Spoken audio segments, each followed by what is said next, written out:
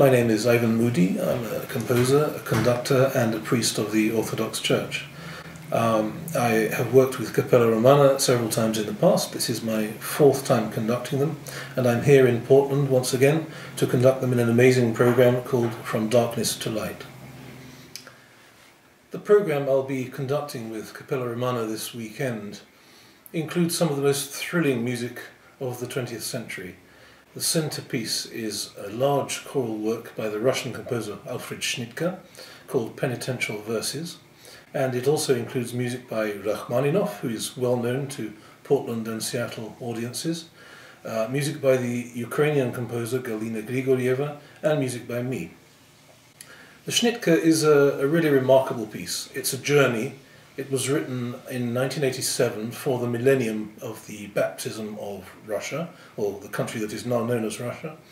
And it's a demanding piece. It, it, it takes us on a journey from darkness to light, which gives us the title for the program. Um, it's a very virtuosic piece. Uh, the choir members have to do things that they would not do in other pieces, and they need to have a tremendous sense of ensemble, a sense of togetherness, and uh, working together as a team. But uh, this journey, complex though it is, uh, really does give you a sense of moving from darkness into light. It takes you from Adam weeping outside the Garden of Eden back to paradise, and it's really a tremendously thrilling work.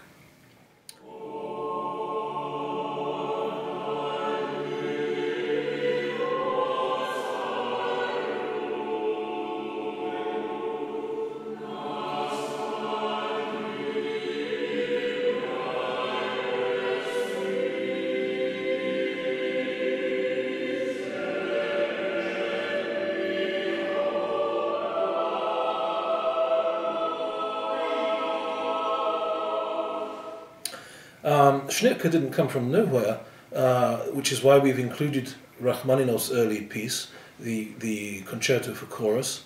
Uh, this is um, a, a, concert piece essentially, um, and it's uh, in an earlier style than his well-known Vigil or, or Vespers, uh, but it's but it's a beautiful piece, and it neatly encapsulates the the Russian choral tradition out of which Schnittke's work comes.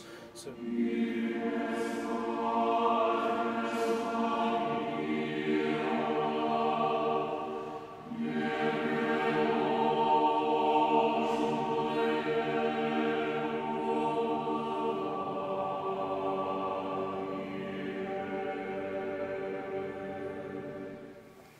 We also include a work by the young Ukrainian composer Galina Grigorieva.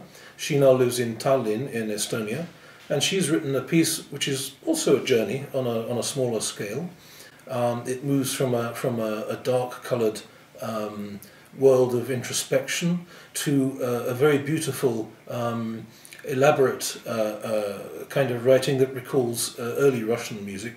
And this piece is set for men's voices only, and so explores uh, a different sound world from the full choir music of Rachmaninoff.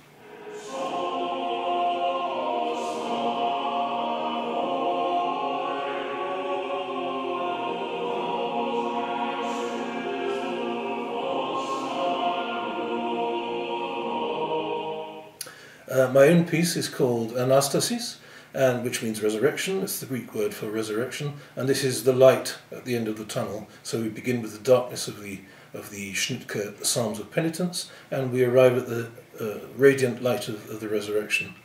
Uh, my piece doesn't come out of the Russian tradition; it comes out of the Greek tradition.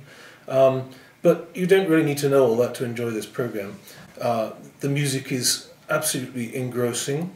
Um, it, it will bring you a, a vast array of colours and, and experiences and emotions. And I think it's one of the most ambitious programs that Cappella has ever done. And I'm looking forward enormously to conducting it.